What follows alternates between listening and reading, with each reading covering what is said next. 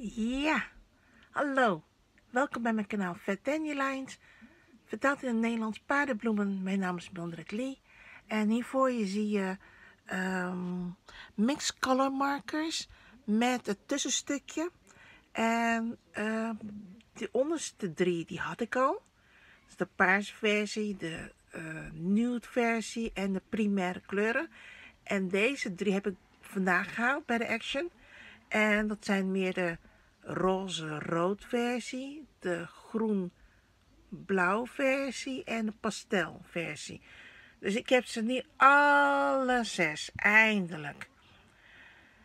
Um, per doosje zijn ze 1,99. Nou, deze doosjes heb ik niet meer. Die heb ik dus weggegooid. Ze zaten in dit bakje. Want um, daar had ik ze eigenlijk erin gezet. Maar ja, daar passen zeg maar de drie doosjes in dit bakje. Maar nu heb ik er nou zes doosjes in totaal. Ja, ik moet ruimte maken. dus ik schuif het even allemaal weg. Dit ga ik niet vandaag doen. Want instructies zitten op de achterkant van het doosje. En ik kan het je andere keer laten zien hoe je, dat, hoe je eh, ermee moet werken. Maar deze, die heb ik al jaren geleden gekocht. Kijk maar. Maar wat ik zag was, ik twijfelde in de winkel van, zal ik die pakken of zal ik die niet pakken? Mm. Ik heb volgens mij geen andere kleur nog gezien, dus ik had...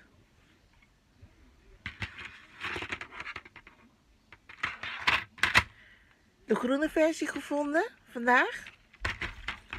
En de blauwe versie. En zoals ik zei, ik heb niet andere kleurtjes nog meer kunnen vinden. Um, ze zijn 1,99 euro per doos, net als die andere. Zelfde prijs. Maar deze zijn uh, metallic brush markers. En um, deze zijn heel bijzonder. Die kan niet alleen op wit en kraftpapier, maar ook op zwart papier. Dus deze zijn echt geweldig. Um, daarnaast, ik ga deze even wegdoen. Heb ik Ja, uh, hoeveel heb ik nou uitbesteed vandaag? 24,09 euro. Oké. Ja, dat moet ik wel bij vermelden. Ik heb drie van deze gehaald. Drie paletjes. Heel kinderlijk, maar uh, ja, als je werkt met verf, acrylverf of met waterkleurmarkers, dan wil ik een beetje zoveel mogelijk uh, ja, paletjes hebben. En ik Binnenkort ben ik niet de enige die hier aan tafel zit. Uh, naast mij is een andere tafel en dan kan waarschijnlijk Shelly uh, haar creativiteit ook aan de slag. Want dan hoeft ze niet beneden te verstoppen in de kamer van mijn jongste zoon.